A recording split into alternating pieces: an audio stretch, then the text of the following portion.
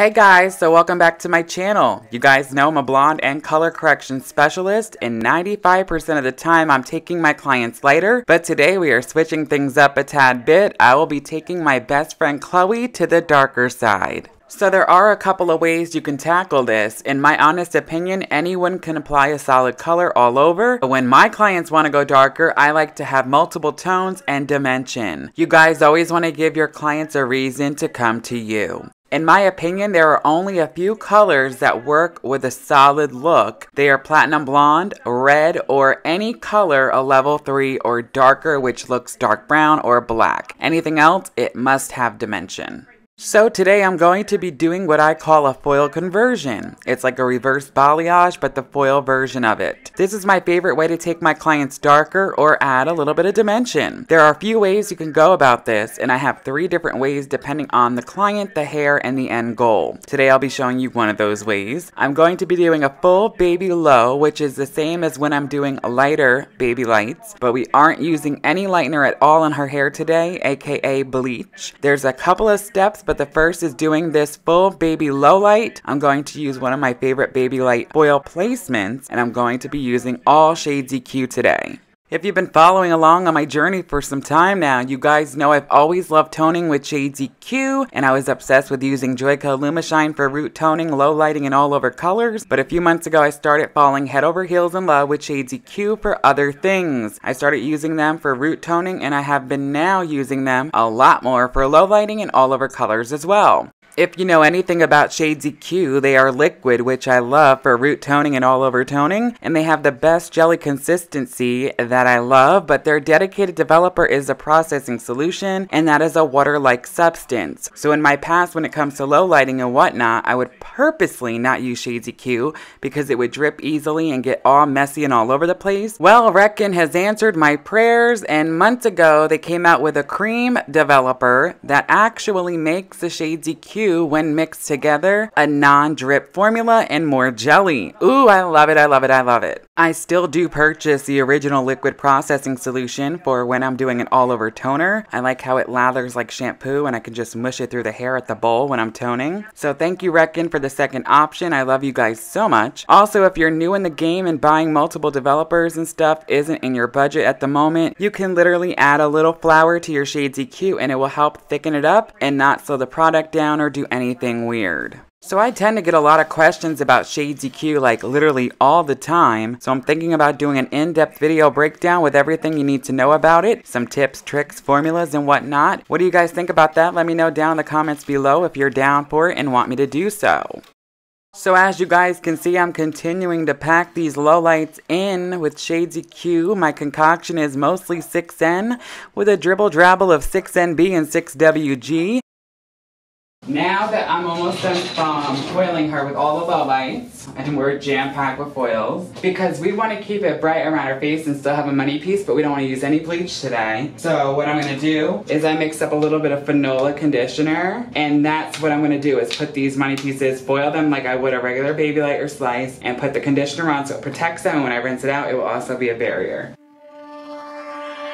I was ready to surrender my heart to you, only you.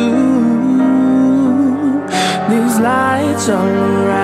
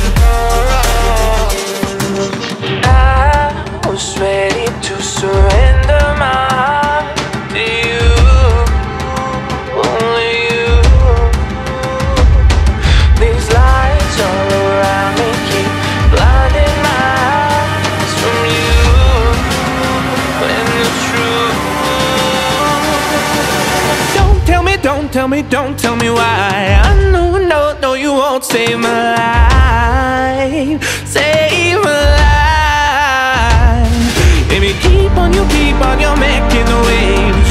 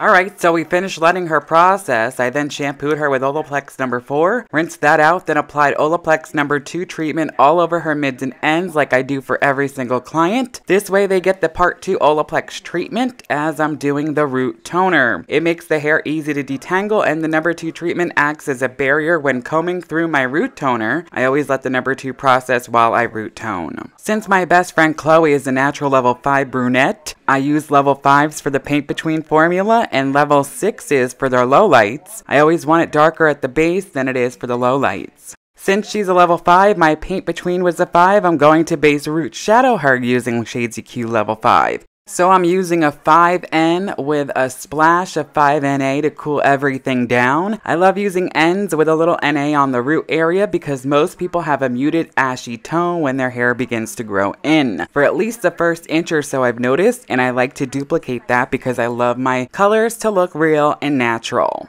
So I used four colors for her toner, her all over toner that is. I want her to have a nice rich bronze color, so I used 7GB, which is butterscotch. Oh, I love butterscotch so much. I used 7NB, which is chestnut, 8V, which is my violet to cool any brass or yellow, and 8GI, which is a cool gold, a mauve color. The GIs are honestly one of my favorite shades in Shades EQ. I was ready to surrender my heart to you, only you. These lights all around